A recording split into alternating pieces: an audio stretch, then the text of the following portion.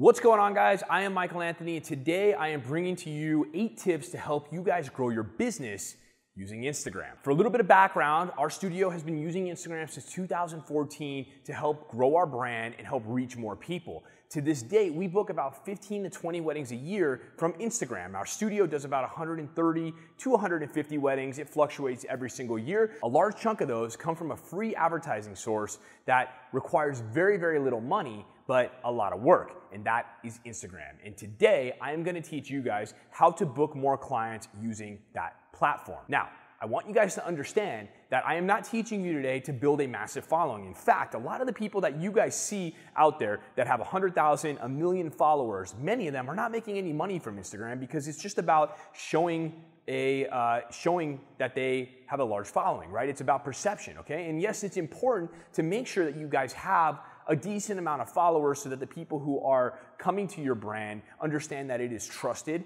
and that they can, uh, they can rely on it to produce good imagery from them. But you don't need to have 50,000 followers to earn a lot of money from Instagram, okay? And today I'm gonna give you guys some of the tips that we've used to grow our Instagram, not from a follower standpoint, but from a revenue standpoint. All right, so tip number one, this is the first thing that you guys need to do in order to help grow your Instagram, is to clean up your freaking profiles, okay? If I go to your Instagram page and you had a picture with your cat, and then it's a beautiful wedding photo, and then the next picture is something that you ate last week, that is not good. You are not showing people uh, the content that they are coming to your Instagram for. Now, your friends, yeah, they want to see that stuff, right? But a random bride who doesn't know you, they don't want to see what you had for dinner last night or what you did out last night at the club with your friends. They want to come there and see that you guys can create good pictures for them in order to hire you for their wedding or their portrait session, okay? And in order to do that, you have to make sure that your portfolio is clean. This is the same concept that applies to your website. So if we go to your website, we want to see in your first 20 images photos that represent your brand. Not photos that are trendy unless that is part of your brand, but we want to see what makes you different. And every image that you post to Instagram has to follow that same mentality and mindset. So if you guys right now go through your profile and you see a lot of junk, right? Go through and start archiving that stuff. Clean up your story. Instagram gives you a great tool uh, in order to clean up some of the stuff that's on there without getting rid of it completely so that you can always go back and look at it later, okay? So go through your Instagram, clean it up, archive the old stuff, and start posting content that is new, fresh, and exciting and matches your brand. Okay, now, tip number two is actually something that we did about two years ago to help make the user experience better on our Instagram page. So, utilizing the highlight section on Instagram, you can actually create a mini website. And keep in mind, guys, a lot of the traffic to our website does come from Instagram.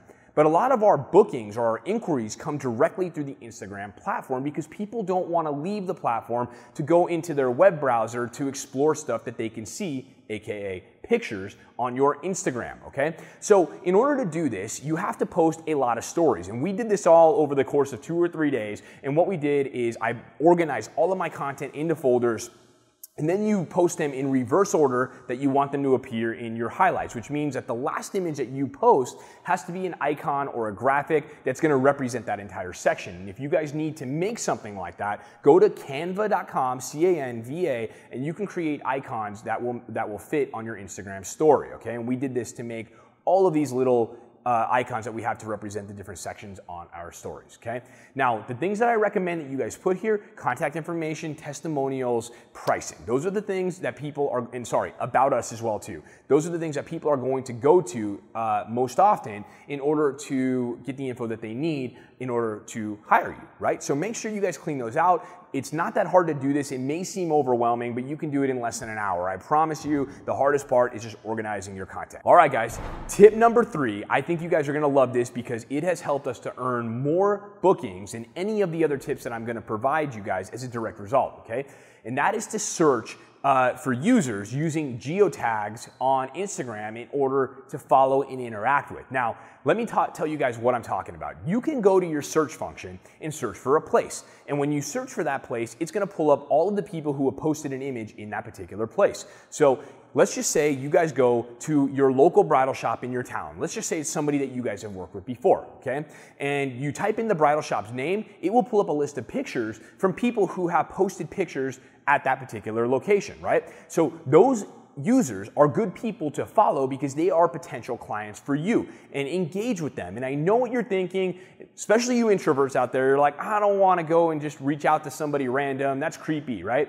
You guys are a business, okay? People are being bombarded every single day by advertisements. You're probably watching one before you watch this video, or at least you will right after this video because YouTube is bombarding you with advertisements. Well, reaching out to somebody directly through Instagram from a business profile is just advertising. That's all it is, right? And we've done this, and the way that we've done it is if a bride has posted a picture of her in a wedding dress at a local bridal shop, we've reached out to them and just said, hey, I love the gown, great choice. Cruises Bridal or whatever bridal shop is a really awesome place. Uh, we've done a lot of work with them. You can check out some of our work if you guys are still looking for a wedding photographer at insert your website right here. We'd be uh, very happy to give you a discount if you choose to work with us, right? Do something like that. And I promise you guys, it may seem creepy, right? I, I, get it. It's like you're reaching out to random people, but don't think of your Instagram anymore as a social platform. It's an advertising platform because you are a business. And if you guys are not using your Instagram in that capacity, then you guys need to rethink your Instagram strategy. So, to give you guys some perspective, right? We've utilized this uh, this technique again for the last like two or three years, and we probably book half of our weddings from Instagram um, by connecting with people through that exact method. Okay. okay. Tip number four this is something that's gonna help you guys build vendor relationships and book more weddings as a result of your efforts here. And that is to tag all of your vendors in a description that you work with on an individual shoot, but not just in the description. And this is where a lot of you guys mess up, right?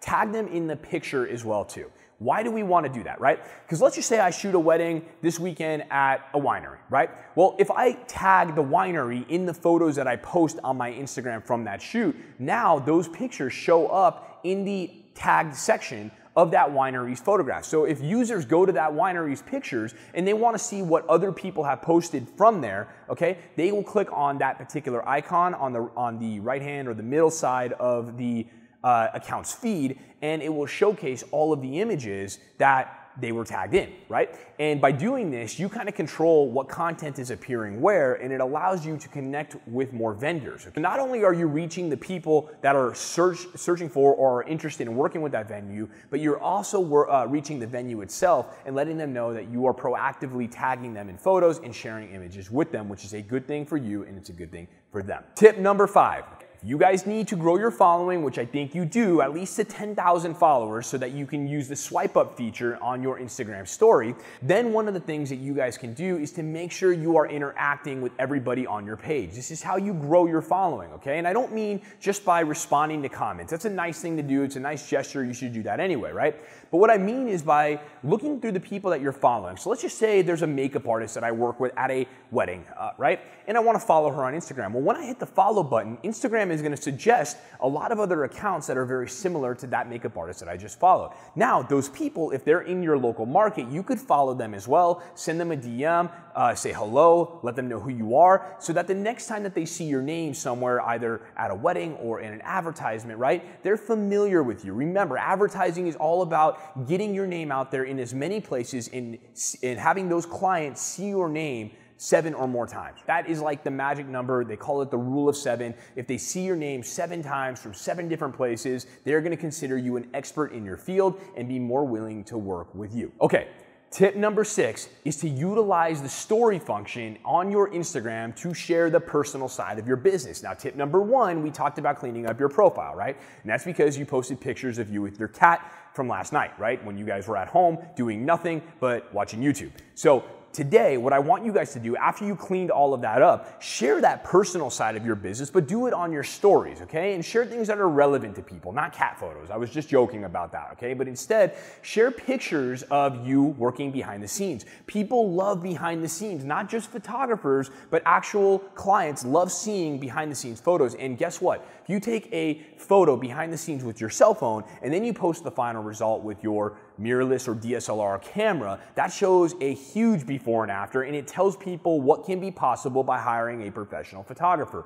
But you can't just do this today and be like, I'm gonna see all the results tomorrow. It's not gonna happen, okay? You have to be consistent with this, which is gonna be one of my tips that I'm gonna get to in a second, right? But I want you guys to make sure you're posting three to four stories a day. And actually, when you have over 10,000 followers, link to a relevant piece of content on your website because that's gonna help your SEO traffic, in, or sorry, it's gonna help your SEO rankings in addition to your uh, user experience and um, your Instagram profile as well. Okay, tip number seven, and this really applies mostly to you iPhone users, is to utilize the hashtags app in order to find relevant hashtags for your content. Now, if you're an Android user like me, you can still do this. There's other apps that do it, but hashtags is the best app for this. And, uh, and what I do is I have an old iPhone that I use to, to create the content using this app because the app isn't available on Android, but it works excellent um, for creating hashtags that are relevant to a particular post. And the way that this works is you guys will, let's just say, shoot a wedding at a venue, right?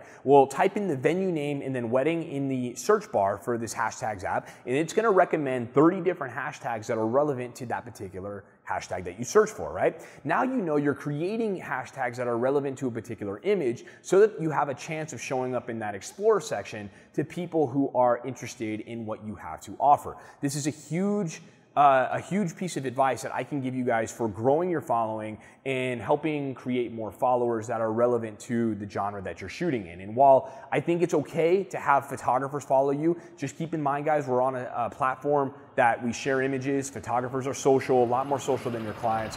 I do think that it's not a bad idea to, uh, to make sure that you guys are building your following, um, both of photographers and of regular clients as well. Okay, and the last tip that I have for you guys, and probably one that you guys are sucking at right now, is to be consistent. Okay, you guys are not seeing results. Instagram is like every other piece of marketing. If you're not seeing results, it's likely because you didn't do it for long enough. So when it comes to consistency, what how much is too much on Instagram, right? Well, I don't think at this point, because Instagram's algorithm isn't 100% like Facebook's, I don't think that you can ever be too much in terms of posting yes, you don't want to post 10 times a day, but you're not going to do that, right? Two to three times a day is a good number, okay? Once per day is essential. We try to post one time per day on our Instagram account, but when we were first ramping our Instagram account, we were posting four times a day, sometimes even longer, to keep consistently appearing in a newsfeed, right? Now, if you don't have that much content, don't stress out about it, right? One time a day is fine,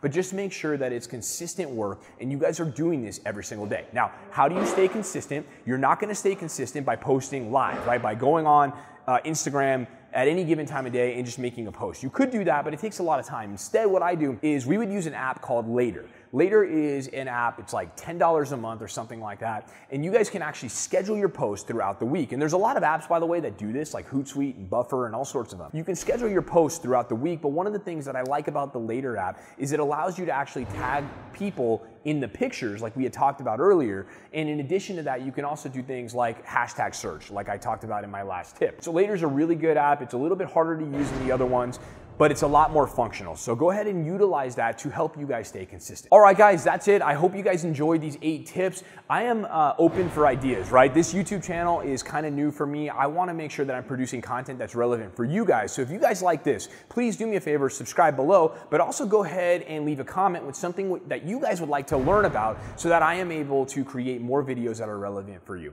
Thank you guys a lot, and we will catch you next time. Catch you later.